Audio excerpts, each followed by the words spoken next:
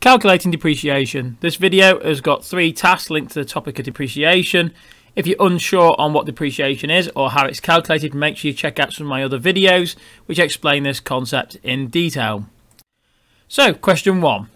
B is looking to buy a new electric car. B would like to know how much depreciation the business could be charged in year one using the straight line method. Down below you'll see the new Corsa E. I was watching a video about this. I'm not sure myself whether I think these are great things or not yet, but B's looking to buy one. The purchase price is £26,490. The expected life is five years and the residual value is expected to be £6,000. So pause the video whilst you undertake the calculation using the straight line method. So here is the answer you should have got. Firstly, you need to actually find out how much depreciation B is going to suffer with the purchase. So you do the 26,490 minus a £6,000 residual value, and that will give you £20,490. Because we're doing a straight line method, you simply divide that total amount of depreciation by 5, and each year on your statement of comprehensive income, you will be putting in 4,000 and £98 as part of your depreciation. If you got that right, well done. So, task 2. Here is the same car again, only this time B is going to be looking to use the reducing balance method. So the purchase price is £26,490. It's still meant to last for 5 years, but it's this time depreciation is at 20%.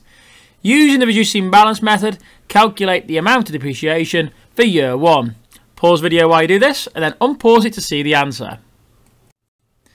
So, you hopefully have got the answer now of £26,490 multiplied by 0.20. That's a way of finding 20%, remember. And that would give you £5,298. So in that first year, that would be apportioned to depreciation and put on the statement of comprehensive income. So that's where it would go. So let's have a look at task 3. Task 3 is just like we had before, only this time B wants to know what the year 2 depreciation amount is going to be based on the reducing and balance method. So what you just used a minute ago, but this time year 2. So there's your data on the screen. You've got the purchase price, expected life and depreciation. You've also got your data from task 2 that you'll be needing to use. Pause the video while you undertake the calculation to work out the depreciation for year 2. So there is your answer. So firstly, you will need to work out the £26,490 purchase price multiplied by the 20%, which gives you £5,229.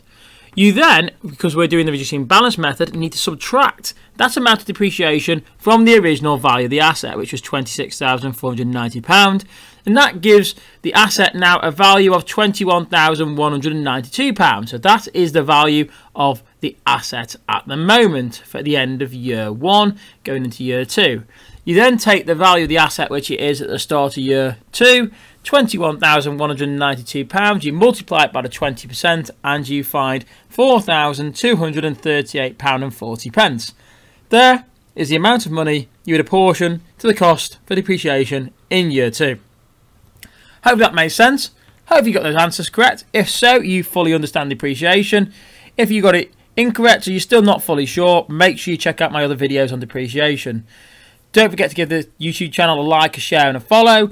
And until next time, keep buzzing.